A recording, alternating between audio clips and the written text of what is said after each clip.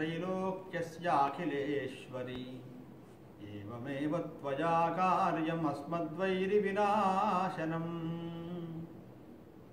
అమ్మవారి యొక్క నామాల్లో మనం ఉన్మేష నిమిషోత్పన్న విపన్న భువనావళి సహస్రశీర్షవదనా సహస్రాక్షి సహస్రపాత్ అనే శ్లోకంలో మనం భావార్థాన్ని మనం చూస్తున్నాం.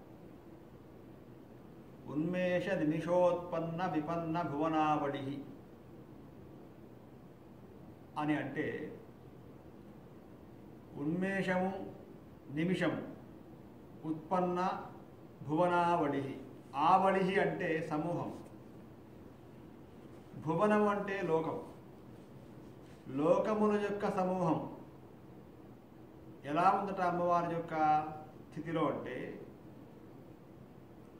ఉన్మేష నిమిషౌ నేత్ర వికాస సంకోచౌ తాభ్యామేవ క్రమేణ ఉత్పన్నా విపన్నాశ్చ స్రష్టా నష్టాశ్చ భువనానాం లోకానాం బ్రహ్మాండానాం ఆవళ్య పంక్తయ యస్యాస్తథాని భాష్యకారవచనం చెప్పారు. అంటే ఉన్మేషము అంటే కళ్ళు మొయ్యటం కళ్ళు తెరవటం. ఉన్మేష నిమిషాలంటే. అంటే అమ్మవారి యొక్క స్వరూపంలో చెప్తున్నారు ఇక్కడ. అమ్మవారు ఒక్కసారి అలా కన్ను మూసి అలా తెరిస్తే అనేక కోటి బ్రహ్మాండాలు ఆ అమ్మవారి యొక్క కన్ను రెప్ప మూతకు మొత్తం కూడా భస్మమైపోతున్నాయట. మళ్ళీ కన్ను తెరవగానే మళ్ళీ లోకాలని పచ్చగా ఉంటున్నాయట. అంటే అర్థం ఏమిటట అంటే అమ్మవారి యొక్క రెప్పపాటు మాత్రానికి మహాప్రళయం వస్తుంది. అమ్మవారు మళ్ళీ కళ్ళు ధరిస్తే లోకవంత మళ్ళీ సృష్టింపబడుతుంది. అంతటి శక్తి అమ్మవారి యొక్క కంటి చూపుకి ఉందంటున్నారు ఇక్కడ. ఉన్మేషము అంటే కళ్ళు ముయ్యడం నిమిషం అంటే తెరవటం ఉన్మేష నిమిషోత్పన్న ఆ యొక్క ఉత్పన్నం అంటే పుట్టడం. ఆ యొక్క కన్ను రెప్పపాటు పడడం వల్ల కన్ను రెప్ప తీయడం వల్ల ఏం జరుగుతుందయా అంటే విపన్న భువనావళి భువనములు అంటే లోకముల యొక్క ఆవళి పంక్తి విపన్నమైపోతుంది. అంటే మీమాంసా శాస్త్రంలో ఒక మాట చెప్పారు. అదేమిటండి? మరి దేవతలకు కనురెప్పపాటు లేదంటాం కదా. వాళ్ళని మనం అంటాం మనం అనిమిషులు అంటాం మనం దేవతలని. మరి ఇక్కడ అమ్మవారికి అది ఎలా సాధ్యమవుతుంది? దేవత అయినట్లయితే కళ్ళు మూసుకోవడం కళ్ళు తెరవడం ఉండదు. మరి ఇది ఎలా సాధ్యం? ఉన్మేష నిమిషోత్పన్న విపన్న భువనావళి సాధ్యం కాదు కదా అంటే ఇక్కడ చెప్తున్నారు. దేవ్యా అనిమిషేత్వేపి ప్రాణికర్మవశేన తజోరుత్పత్తి సంభవాత్ అని భాష్యకారవచనం చెప్పారు. ఇచ్ఛామాత్రే తాత్పర్యాత్. లేదంటే లేదని కాదంటే అర్థం ఇచ్ఛామాత్రే అలా మనం ఊహించుకోవాలి. లేదా కర్మవశం చేత తయోరుత్పత్తి సంభవాత్. అమ్మవారి యొక్క విధానంలో మనం చెప్పుకుంటున్నాం మనం. అంటే ఆ మాత్రం చేతనే అంటే ఆ యొక్క సమయం మాత్రం చేతనే లోకములని కూడా పుట్టి గిడుతున్నాయి అటువంటి ప్రభావం కలదని అమ్మవారి యొక్క నామం చెప్పుకుంటున్నాం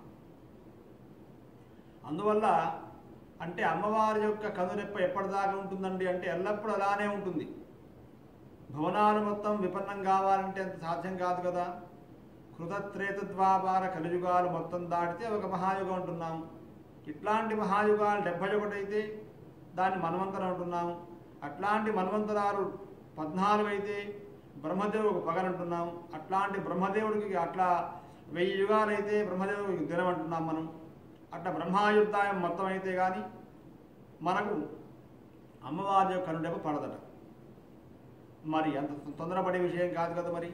అందువల్ల అమ్మవారి యొక్క సహస్రనామాల్లో ఉన్మేష నిమిషోత్పన్న విపన్న భువనావళి. అంతటి యొక్క శక్తి సామర్థ్యాలు అమ్మవారి యొక్క కన్నుకున్నాయని చెప్పంటున్నారు కనుక కాదంటే కన్ను రెప్పకున్నాయి అంటున్నాను. అది ఈ యొక్క నామం. ఇక ఆ తరువాత నామం వచ్చేసేసి సహస్రశీర్షవదనా సహస్రాక్షి సహస్రపాద్. సహస్రశీర్షవదన. వేదంలో కూడా సహస్రశీర్ష పురుష సహస్రాక్ష సహస్రపాతని ఇదే నామాన్ని వేదంలో మనం చూస్తున్నాం. వేదంలో ఉన్న నామాన్ని మనం ఇక్కడ చూస్తున్నాం. అంటే వైదికార్థాలు ఇందుట్లో ఉన్నాయి మనకి. సహస్రశీర్ష వదనా సహస్రాక్షి సహస్రపాతు సహస్ర శబ్దో అనంత. సహస్రము అంటే వెయ్యి మాత్రమే అర్థం కాదు. అనంతపద శీర్షాదిశబ్దో శీర్షాది శబ్దో ముఖాదేహి ఉపలక్షణం లింగత్వమవీక్షితం సర్వత పాణిపాదోరం సర్వతోక్షిశిరోముఖం సర్వత శృతిమల్లోకే సర్వమావృత్య తిష్టది అని చెప్పారు. గీతాశాస్త్రంలో స్వామివారి యొక్క తత్వాన్ని చెప్పినప్పుడు ఎలా ఉందండి అంటే సర్వత పాణిపాదోరం ఆ యొక్క విశ్వరూపం ఎలా ఉంది చెప్పారు ఇక్కడ. అట్లనే అమ్మవారి యొక్క స్వరూపంలో కూడా సహస్రశీర్షవదనా. అనంతమునగు శీర్షములు కలదట అమ్మవారు.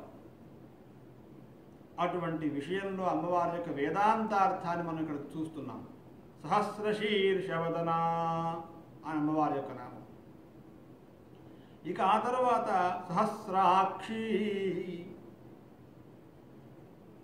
అంటే ఇక్కడ కూడా అనేక రకాలకు అక్షి అంటే కన్ను. సహస్రాక్షి అంటే వేలకు వేలగా కన్నులు కలది అమ్మవారు. అంటే ప్రపంచాన్ని మొత్తం చూసేటువంటి విధానంలో ఇవాళ మనం చూస్తున్నాం. ఎక్కడ పడ్డా కూడా కెమెరాలు ఉంటుంది. అవన్నీ కూడా కళ్ళే. మనం ప్రత్యక్షంగా చూడలేం కాబట్టి పరోక్షంగా మనం చూస్తున్నాం. తర్వాత మళ్ళీ మనం చూసి మనం దాన్ని గ్రహిస్తున్నాం మనం. అట్లనే అమ్మవారి యొక్క తత్వం కూడా ఈనాడు మనకు ఎలా అయితే కెమెరాలు ఉన్నాయో అనాది నుంచి కూడా సూర్యుడు చంద్రుడు నక్షత్రాలు గాలి పంచభూతాలు ఇవన్నీ కూడా కెమెరాలే మనకి.